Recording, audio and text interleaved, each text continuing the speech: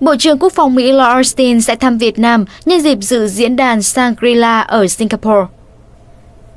Theo thông tin từ Đại sứ quán Việt Nam tại Washington, Đại sứ Việt Nam tại Mỹ Hà Kim Ngọc đã dự lễ nhậm chức tư lệnh các lực lượng Ấn Độ Dương-Thái Bình Dương của Đô đốc Jones Aquilino ở Honolulu, Hawaii hôm 30 tháng 4. Dịp này, Đại sứ Hà Kim Ngọc cũng gặp Bộ trưởng Quốc phòng Mỹ Lloyd Austin, Chủ tịch Tham mưu trưởng Liên quân Mark Milley. Tại cuộc gặp, Bộ trưởng Austin nói với Đại sứ Hà Kim Ngọc rằng ông mong muốn thăm Việt Nam trong thời gian tới. Trong các cuộc trao đổi, hai bên vui mừng nhận thấy sau 25 năm bình thường hóa, quan hệ đối tác toàn diện Việt Nam-Mỹ có những bước phát triển mạnh mẽ trên nhiều lĩnh vực, trong đó có hợp tác quốc phòng, an ninh, đóng góp tích cực vào việc duy trì hòa bình, an ninh, ổn định và hợp tác ở khu vực. Đại sứ Hà Kim Ngọc đánh giá cao nỗ lực và kết quả hợp tác của hai bên trong việc giải quyết hậu quả chiến tranh như tẩy độc da cam, gia phá bom mìn, giúp đỡ nạn nhân của chiến tranh. Trong khi đó, phía Mỹ cảm ơn chính phủ và nhân dân Việt Nam đã hỗ trợ và hợp tác hiệu quả tìm kiếm người Mỹ mất tích trong chiến tranh. Đồng thời vui mừng trước những tiến triển trong hợp tác với Việt Nam nhằm nâng cao năng lực hàng hải, cứu hộ cứu nạn, ứng phó với thiên tai, phòng chống COVID-19. Phía Mỹ cho rằng có nhiều cơ hội thúc đẩy hợp tác giữa hai nước trong lĩnh vực quốc phòng. Về các vấn đề khu vực và quốc tế, phía Mỹ chúc mừng Việt Nam hoàn thành tốt vai trò Chủ tịch ASEAN năm 2020, qua đó tiếp tục khẳng định vai trò trung tâm của ASEAN và tăng cường đoàn kết ASEAN, cũng như quan hệ đối tác chiến lược ASEAN-Mỹ. Đại sứ Hà Kim Ngọc cảm ơn phía Mỹ đã hợp tác và hỗ trợ Việt Nam tham gia lực lượng gìn giữ hòa bình của Liên Hợp Quốc. Phía Mỹ khẳng định chính quyền Tổng thống Biden tiếp tục thực hiện chiến lược Ấn Độ Dương-Thái Bình Dương tự do và mở, coi khu vực Ấn Độ Dương-Thái Bình Dương là ưu tiên hàng đầu trong chiến lược an ninh quốc gia. Các quan chức Mỹ khẳng định bảo đảm tự do hàng hải, hàng không và trật tự dựa trên luật lệ, coi trọng phối hợp với các nước đồng minh và đối tác trong khu vực để duy trì hòa bình, an ninh, ổn định, tôn trọng luật pháp quốc tế, trong đó có UNCLOS 1982, giải quyết hòa bình tranh chấp. Trong bối cảnh có những diễn biến phức tạp mới tại khu vực, Mỹ sẽ tiếp tục phối hợp với các nước trong khu vực ứng phó với đại dịch, trong đó có việc cung cấp và phân phối vaccine cũng như xây dựng chuỗi cung ứng ổn định.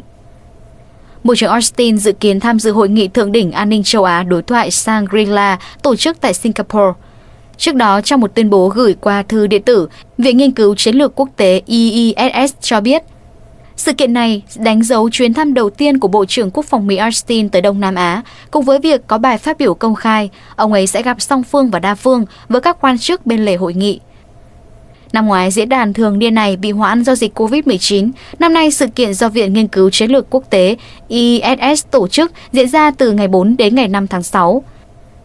Kể từ lần đầu tiên tổ chức năm 2020, đối thoại Shangri-La là sự kiện thường niên quy tụ các quan chức hàng đầu trong lĩnh vực quân sự, ngoại giao và các nhà sản xuất vũ khí trên khắp thế giới để thảo luận về các vấn đề an ninh.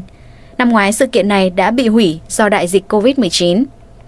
Trao đổi với đại sứ Hà Kim Ngọc, đại diện Bộ Tư lệnh các lực lượng Ấn Độ Dương-Thái Bình Dương bày tỏ hy vọng các nước đối tác của Mỹ sẽ trực tiếp tham dự đối thoại Shangri-La năm nay. Năm nay, đối thoại Shangri-La sẽ tập trung vào chiến lược Ấn Độ Dương-Thái Bình Dương của Mỹ, các quan hệ hợp tác trong khu vực, các mối đe dọa tới môi trường, an ninh khu vực, trí tuệ nhân tạo cùng các công nghệ mới. Chuyến thăm của Bộ trưởng Austin đến Việt Nam nếu diễn ra sẽ là chuyến thăm cấp cao đầu tiên dưới thời của Tổng thống Joe Biden. Trước đó hôm 15 tháng 4 trong buổi tiếp đại sứ Mỹ tại Việt Nam, Daniel Crintenbrink đến chào từ biệt nhân kết thúc nhiệm kỳ công tác tại Việt Nam. Tổng bí thư Nguyễn Phú Trọng đã có lời mời Tổng thống Mỹ sớm thăm Việt Nam. Hồi tháng 4 vừa qua, Đại sứ Việt Nam tại Mỹ đã có cuộc điện đàm với hạ nghị sĩ Joaquin Castro, Đảng Dân Chủ bang Texas, nhắc vụ đá ba đầu ở Biển Đông. Ông Castro là Chủ tịch nhóm ASEAN của Quốc hội Mỹ, Chủ tịch Tiểu ban Phát triển Quốc tế, các tổ chức quốc tế và tác động xã hội của kinh doanh toàn cầu thuộc Ủy ban Đối ngoại Hạ viện Mỹ. Theo thông tin từ Bộ Ngoại giao Việt Nam, Đại sứ Hà Kim Ngọc và hạ nghị sĩ Castro đã trao đổi về thúc đẩy quan hệ đối tác toàn diện Việt Nam-Hoa Kỳ, đối tác chiến lược ASEAN-Hoa Kỳ và một số vấn đề khu vực cùng quan tâm. Đại sứ Hà Kim Ngọc đề nghị chính quyền và Quốc hội Mỹ quan tâm dành nhiều nguồn lực hơn nữa để triển khai hiệu quả quan hệ đối tác Mê Công Mỹ, xây dựng thêm mạng lưới bạn bè, đối tác, ủng hộ hợp tác Mê Công tại Quốc hội Mỹ. Đại sứ Hà Kim Ngọc đánh giá cao lập trường của Mỹ về duy trì các nguyên tắc căn bản để đảm bảo trật tự hàng hải dựa trên luật lệ và ủng hộ các quyền lợi chính đáng của Việt Nam ở Biển Đông về những diễn biến phức tạp ở Biển Đông thời gian gần đây, nhất là ở khu vực Đá Ba Đầu và Sinh Tồn Đông, hạ nghị sĩ Castro khẳng định Mỹ ủng hộ mạnh mẽ việc tôn trọng chủ quyền của các nước khu vực, trong đó có Việt Nam. Bộ Ngoại giao Việt Nam thông tin. Trước đó, từ cuối tháng 3, Philippines cho biết đã phát hiện hơn 200 tàu Trung Quốc neo đậu tại đá Ba Đầu thuộc cụm sinh tồn của đảo Trường Sa. Quần đảo Trường Sa thuộc chủ quyền của Việt Nam, nhưng Philippines cũng tuyên bố một phần biển trồng lấn. Manila vì vậy phản đối sự hiện diện của tàu Trung Quốc và yêu cầu Bắc Kinh rút nhóm tàu này đi.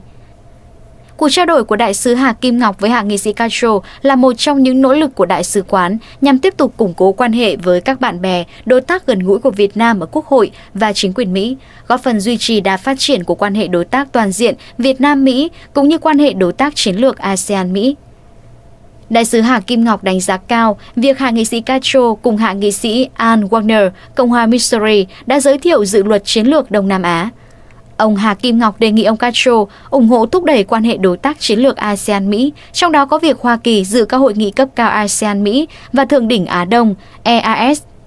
Hạ nghị sĩ Castro khẳng định nỗ lực cùng các nghị sĩ thúc đẩy chính quyền tăng cường can dự tích cực và xây dựng đối với khu vực và vận động Hạ viện và Thượng viện thông qua dự luật chiến lược Đông Nam Á. Đại sứ Hạ Kim Ngọc và hạ nghị sĩ Castro bày tỏ vui mừng trước những bước tiến của quan hệ Việt Nam-Mỹ sau 25 năm thiết lập quan hệ ngoại giao và mong muốn hai bên sớm trao đổi đoàn cấp cao và đoàn quốc hội sau khi đại dịch COVID-19 được kiểm